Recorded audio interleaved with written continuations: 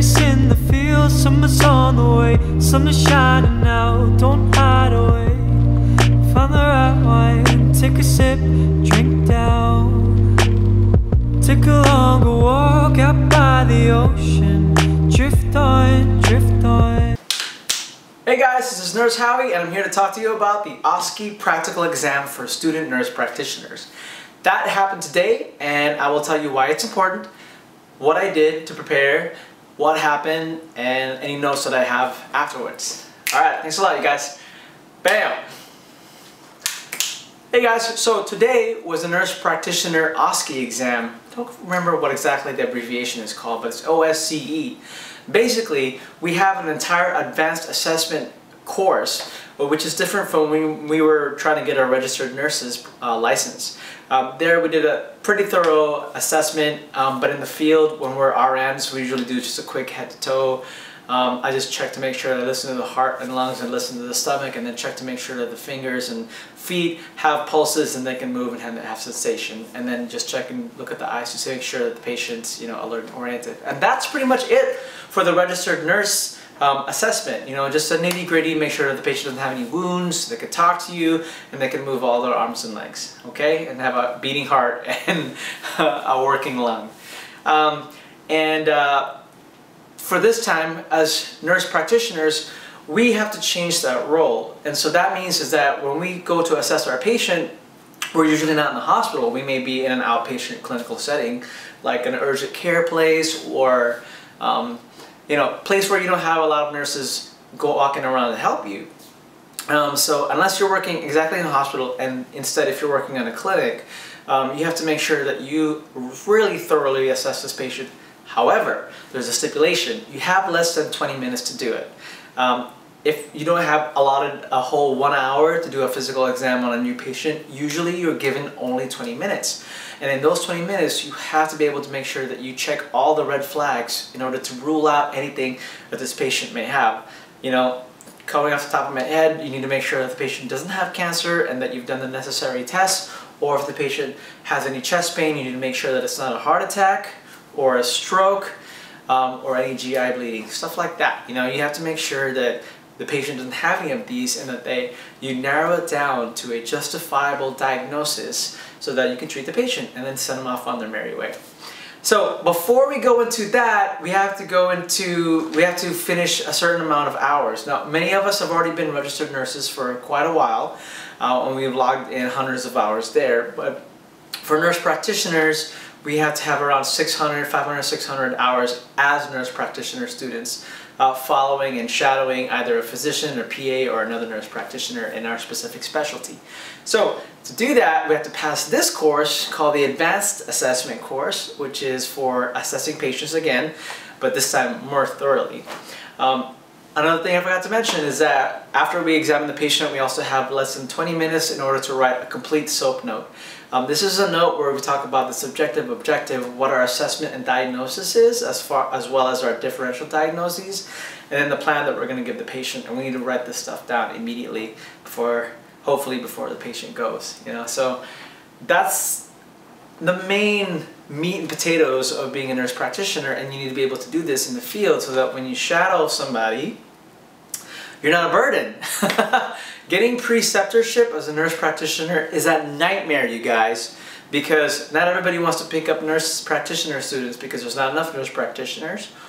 And you know, doctors and physicians assistants may see you as competition, even though you really, really want to learn from them. And I really, really want to learn from all kinds of interdisciplinary uh, specialists. But you know, even if they're nice and they don't think you're a competition, you are a burden, and you cannot be a burden to them. So you need to know your advanced assessment skills and how to write a SOAP note that'll generate revenue and will not hurt the patient and make sure that you don't leave anything that's that's completely um, uh, that's a complete red flag. Make sure that you hit all those things okay? So um, if we do those then we can graduate the class and then we can go out and get a preceptor. So hopefully now there's a I think it's called MERV's Law or whatever that nurse practitioner schools have to get preceptorship, but it's still a nightmare. I can't imagine how nurse practitioners before this were able to get their own preceptorship, but I'm sure it would have been like terrible and time consuming and I don't know, it costs a lot of money, but nowadays schools are required to do it for you, but that doesn't necessarily mean that you can go where you want. If you can find your own nurse practitioner preceptor, um, physician or physician assistant that's more than willing to help you for free, um, then yeah, tell your school about it. You're actually in upper level, you know, you haven't, you have, you have the advantage compared to your other classmates. So it's kind of a race against time.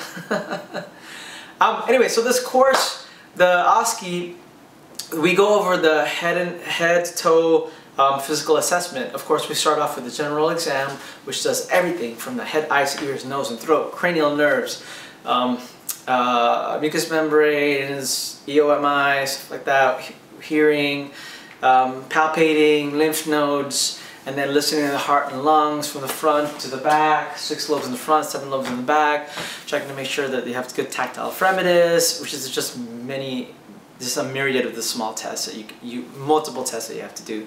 I'm sure all the, all the doctors and PAs are all very familiar with this too. Um, and uh, checking to make sure, uh, oh yeah, and they have to do an order to inspecting and then auscultating before you palpate the abdomen. Um, then you check in the genital urinary areas and then the rectum if you have to and then the pulses and then you have to go all the way down the legs make sure there's sensation, strength and range of motion. And don't forget the neural exam as well as psychosocial issues because of course we're technically holistic practitioners. Um, and uh, yeah so there's many more of that but you go through the basic basic thing that would normally take you an hour um, and then sometimes we'll dip into um, pediatric and geriatric considerations, but for the most part, we're focusing mostly on adults. And this is because this is a core nurse practitioner program. Before we go out in our specialties, like minus psychiatry, some others are pediatric, pediatric nurse practitioners and some others are going to be geriatric practitioners. We have to do the general adult um, knowledge. And then after that, we go system by system in lecture and didactic um, and that's how, that's how we narrow down um, and save time when we're doing a, um, an assessment over a patient that we know have a certain chief complaint. So the patient is not just coming in for a general um, annual exam. Let's say the patient has like a sore throat or a headache or urinary problems or a cough or whatever. Um, then we start tailoring the exam so that it doesn't take up our whole 20 minutes. And then we have to go back again, head to toe, uh, what my instructors have said is that I'm very charming. I mean, come on, you can tell, right? Um, but I need to follow a specific systematic order. Uh, because even though you finish all the SOAP note writing courses during the course or you've done all the necessary knowledge and, and passed all the tests, the written tests, you have to be able to pass this last OSCE exam practical of the day. If you don't and you fail this because you missed um, one red flag, you fail the entire course. I mean, it's very stressful for most people. That's, I mean, it was a little stressful for me because I had to do um, extra classes at another city um, for my other specialty, nurse practitioner specialty. But for many of us, we are full-time working registered nurses and um, one of the nurses that I work with, she was just so intelligent, but she was just very, she was a gutter, you know, she everything she had to say was supposed to be right and then nobody else's was correct but her. Um, and you know what? The week before we were going to do our exam today she broke down. Yeah she was I mean I saw her coming in we were practicing we were practicing the exams if we were going to do it last week. And you know usually we're given we're put into a private room uh, for only a couple of students for five minutes. We get we prepare to interview our patient uh, we do it in 20 minutes and then we come back out and then write the SOAP note. So in the middle of the first five minutes, I was, you know, like, obviously we weren't, we weren't each other's favorite classmates, but she goes in and she's like, oh my God. I could just hear her roll her eyes. And I was like, hey, um, I wasn't a huge fan of her either, so I just kept quiet. And then after about five minutes came up and she was getting ready to go, and I said, that five minutes came by pretty quick, huh? And she goes, it's five minutes I was like, okay. Um, anyway, so then when I came out, she, I saw that she was on the floor in the hallway, bawling her eyes out. Now, this might not necessarily be from the test, but I'm sure she probably has, not I'm sure, but she might have had other, you know, terrible stress factors, you know, family problems, financial problems, whatever, in addition to taking this exam. But um, either way, I haven't seen her since, so I hope she's okay. Um, but it just goes to show that people, when they look and act tough on the outside, may not always be tough on the inside. And the, uh, the reverse might be correct. So when it finally came time for my exam, um, it, I came in at 10.30. Uh, they, I wasn't there when they were signing up people, I was late. so they said, oh yeah, you're gonna be the first guy. You're, you're, you're at 10.30 is what many, a couple of my classmates said. And I was like, okay. So I came in, made sure I had my lab coat and something nice to wear and a tie and my badge and my stethoscope and pen light and pens. And then I came in and there was already a couple students in there and I was like, oh, hey. They're like, hey, Howie. I'm like, you guys, are you guys, you know, waiting to be next? And they're like, yeah. And I'm like, oh, I thought I was the first one. And then, and then it hit me like my classmates were playing a practical joke. I was not the first one. I was like mid-morning. so that, that helped kind of ease the tension for them and for me. Um, so I just spent like the next hour um, reviewing my notes on another classroom that was quiet and I just used the chalkboard or the whiteboard. Alright, so my turn comes along and um, I start writing my, they put me down in a room and they give me five minutes to prepare. So I start writing down what the patient's complaint is, of course, patient's name, demographics, their vital signs, and those are pretty much all that I'm given. Then I'm able to have like a note a notebook called Common Signs and Symptoms Guide, and that's where I put my red flags, and I was allowed to write that down. So I transcribed that from my book into my clipboard with one piece of paper, and I did, you know, I put down what I was going to ask the patient. So I asked about demographics, vital signs, and then on this section, I wrote uh, uh, uh, chief complaint um, heading, and then the other headings were I would say FEMA is my mnemonic. So family history, environment, medication management, um, medical history, and allergies. Um, and so medication, I also write down alcohol and tobacco and illicit drug use. So that's my basic um, um, examination history questions. Then on this top area, I have my old cart, because anybody that has pain, you have to do old cart, which is O-L-D-C-A-R-T, which is a mnemonic for pain and then I do my red flags. So I write down um, really, you know, pretty quickly. And but I was, I don't know what, exactly what time I had because I didn't look at my watch. I don't know why. And so I was like, well, I better write down exactly my exams that I'm going to do the patient. So I wrote down what I was going to do. So I, I, I strategized and I, and I figured, okay, this lady's complaining about sore throat. So I'm putting down, um, I'm going to do a HEENT exam, which is head, eyes, ears, nose, and throat, and then neck, HEENTing exam and then do a basic cardiology and basic respiratory exam. I need to make sure that I do do the neck and the lymph nodes and then check the pharynx. So I wrote that on my note on the bottom corner here, bottom right corner. But then, and then they said I had one minute left and I'm like, oh crap, I missed one minute. So I didn't want to miss all, I wanted to list all my red flags, so I had it in a list. So I went back to the top right corner and then added in the list below the old cart and I barely made it. So definitely had to make sure that I, I practiced my my timing for the five minutes there. Okay, so then they bring they bring me out into the hallway and they said, okay, your 20 minutes are going to begin as soon as you knock on the door and you introduce yourself to the patient. So I went in there, knocked on the door, took a deep breath, and became, you know, was very professional. because I've been in um, medicine for a long, since I was like 19, um, I may not have had the same amount of education, medical education as I do now, but I've always had the experience of working with patients. And as goofy as I am with my friends when I'm in the medical um, when I'm in front of a patient I try to be as professional as I can. I, I leave the jokes until after I know the patient. So usually I come in knock on the door wash my hands pull out the curtains for privacy and say hi my name is Howie. I'm gonna be your student nurse for the day um, I've heard that you've had problems with your sore throat. We're to take try to take care of you as best as I can. But first, uh, a, simple, a few simple questions.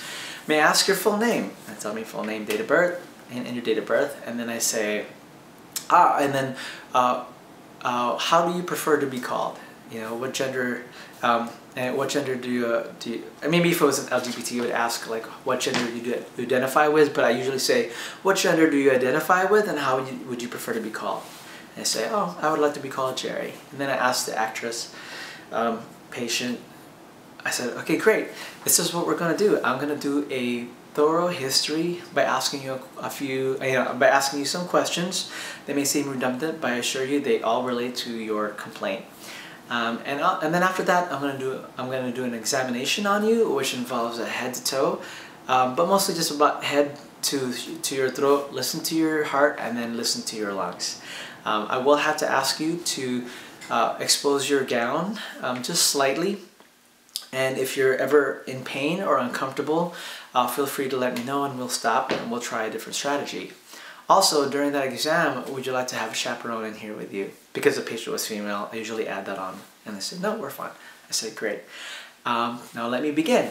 So I, I do my questions and I ask my, um, um, you know, family history, so the FEMA. So I have my history physical present illness. So what's your history? How did you get this thing? And you know, what, what have you been doing prior to that? Then I ask for family history, I ask for environment. Usually I like to do medical history below the HPI, but this is how my mnemonic works, so it's FEMA. So then I have uh, medical history and then medications, smoking, tobacco, or um, drinking or illicit drug use, and then I ask allergies. Of course you have to ask allergies, that's nursing 101. And then I go do my old cart and red flag questions. But this time it's been about five to seven minutes, so I start kind of breezing through the red card questions. And after that's done, uh, usually the red card questions um, for the one, like let's say I had sore throat, so mine usually involved asking um, if you've had any recent travels, if you've um, had any night sweats or um, contact with anybody that, that have had tuberculosis? Um, have you had the flu shot? Have you had the um, pneumonia shot? This was if this is if the patient's older. And uh, when was your last menstrual period? Um, I didn't know why we asked that, but it turns out it's because if the patient ever needs any antibiotics, we'll, we'll need to know if the patient is pregnant or not. And um, uh, yeah, so those along that lines, like have you had any cough? Is there any blood in that cough? You have any chest pain, dizziness? nausea, vomiting, diarrhea, um, um, and you know all that nature. So once I got all those red flags down, then I say, okay, thank you so much for answering my questions. Now it's time to do your physical exam. What I'll be doing again, is, as I've said, is that I'll go from head to throat and then I'll listen to your heart and then listen to your lungs and then hopefully that'll be the end of the exam. Again, if there's any pain or if you feel uncomfortable, it is completely fine with me if you wish to stop or change the exam. Are you ready? And patients, you know, usually says that they are. And I take a look at my notes real quick, get my stethoscope, and then do the exam on the particular order that I want. So that, of course, is from head to toe systematically. So if you do head, eyes, ears, nose, and throat, usually if a patient has a neurological problem or a headache problem, then you have to do a full cranial nerve exam, and that's a whole slew of other things that involve confrontation tests, EOMI, whisper tests, gag reflex, biting down, and um, neck range of motion, and shrugging your shoulders. I think I missed one. But anyway. Um, then you go down, and then what I didn't do in the sore throat was I did palpate, um, check the good chin, chest, and range of motion for the neck, just in case it was meningitis. Instead of threat, strep because you have to think about I, I kind of already had my diagnosis but I kind of had to think about what differential diagnosis tests I could do to rule out everything else um, but I forgot to have the patient swallow when I was checking her thyroid and then one of the red flags is, is that you have to put your stethoscope on the patient's skin. Do not do it over. I know we do that a lot for many patients because they're so like they're obtunded or they can't help you or you're, you don't have time. But when you're doing this exam, you make sure that the stethoscope is on the patient's skin and then you do it with the bell if you're listening to the cardiac. So you're doing six, um, six spots on the front, um, six, you know, to listen to the lobes, and then you're doing ape to man. So aortic, pulmonic, Erb's point, tricuspid, and mitral, mitral um, auscultation for the heart, and then you do seven on the back. And if you think that the patient has problems with coughing or lung problems, then you do a more thorough exam, and that involves bronchophony, egophony, whisper, pectoriloquy, and tactile fremitus um, for your lung exam. But the weird thing is, is that you don't get the symptoms that you found until after you finish examining the patient because they give it to you in a card. So um, I kind of assumed that I had to do the thorough exam, lung exam, but I didn't really have to. All right, so after I got done, um, the patient gave me their card of symptoms of what I should have found um, if I was if this was a real scenario. But this isn't, so the, the card tells me what abnormal findings I found through my exam. And then it said, oh, the patient's sore throat has a positive exudate, um, red tonsils, and um, tender uh, lymph nodes, cervical lymph nodes. And then I write that down on my clipboard, and then I thank the patient, um, and I say, thank you very much for, for letting me examine you. Uh, currently, right now, what I believe that you have is that you have strep, possibly strep throat. What we're going to do for the plan is, is that we're going to do a swab culture, um, check to make sure that you don't have anything else, and then we may or may not need an x-ray. Um, and then I'll check with my preceptor to see if there's any other tests involved uh, and what else uh, we might have for you in your plan. Do you have any questions for me? And she says, no, thank you so much. And I said, thank you very much. It was a pleasure seeing you today. My name again is Howie. Have a great day. And then I wash my hands and I leave. And this time, then I have another 15 to 20 minutes to write down the SOAP note of what I found. So I take whatever symptoms that the patient actress gave me and then I start writing down a SOAP note based on my notes that I did prior to seeing the patient. And I do it quickly. Um, make sure that I have the same order, you know, which is uh, history, physical, present illness, patient name, date of birth, vital signs, chief complaint, and then I go into FEMA, which is family history, environmental history, medical history, medication management, allergies.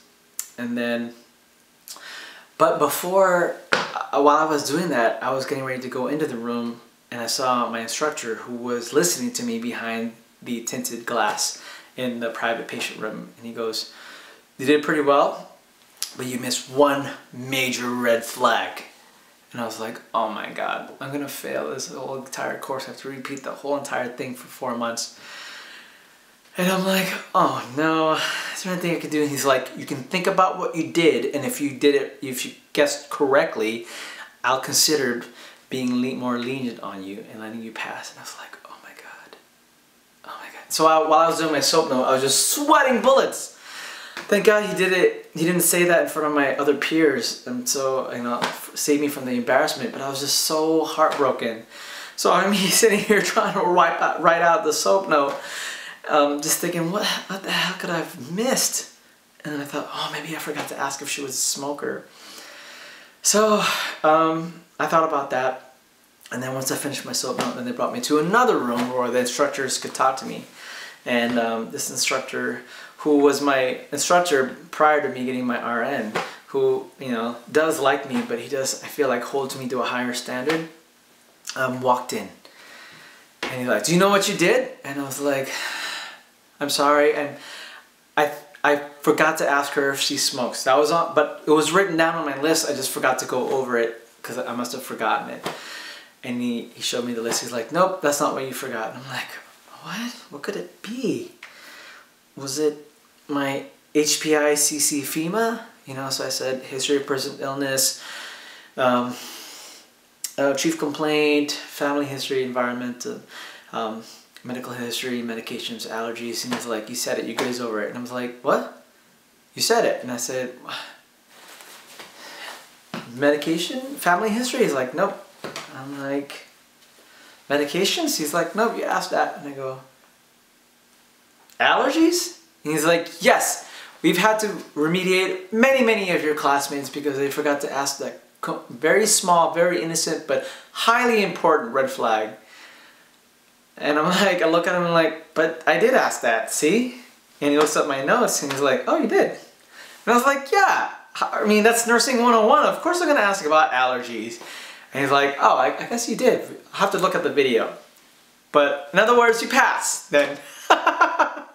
so then we went over um, the objectives and, uh, and then we went over the uh, actress patient's feedback about uh, on me and um, so yeah, I was about four out of five for most things. I was very charming. However, I didn't follow a semi-logical order. So when I asked about the red flag questions, you know, I asked about vaccines and flu shots and pneumonia shots, pneumonia vaccines, and then I asked about travel and then last menstrual period. So that was kind of confusing for the patient and for the instructor. So my only feedback, big feedback really was that I just needed to be able to ask the questions in a more linear and logical order.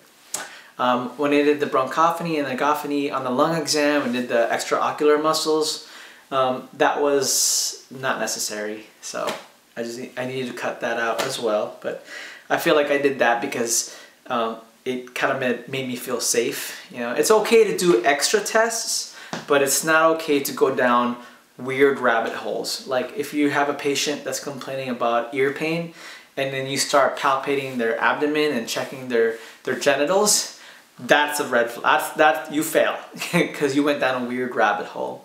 But if you do a little extra stuff like the extraocular muscles for cranial nerves, um, it's sort of okay. Just don't go over the 20 minute time limit.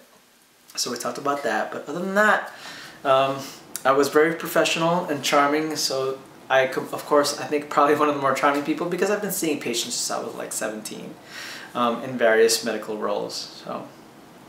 I passed! Yay! Now it's time to um, try to find a super amazing preceptor that I can latch onto and show them my practical exam skills, the OSCE skills now that I've passed it. Alright, um, I'll talk about my registered nurse um, orientation in the ICU later. Um, definitely still learning from that. I'm still learning to become a, a good registered nurse in the critical care field.